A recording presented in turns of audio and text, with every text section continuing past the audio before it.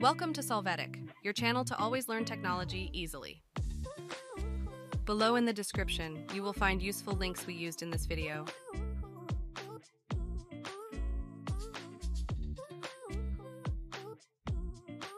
Today in Solvetic, we will see how to exit Fastboot mode Xiaomi Redmi Note 12 series. To enter Fastboot mode, our phone has to be turned off. Then, if we want to activate this mode, we will have to press and hold the volume down and power buttons for a few seconds at a time.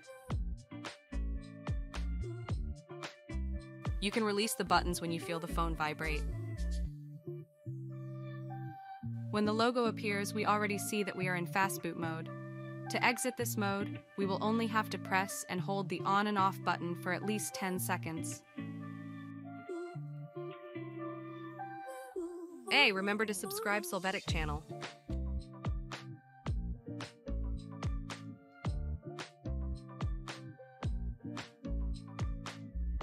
You can release when you see the black screen and the phone vibrates.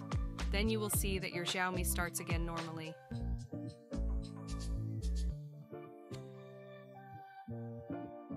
We hope it has been helpful for you. Here are links to watch more videos of your interest and subscribe to the Solvetic channel. Thank you.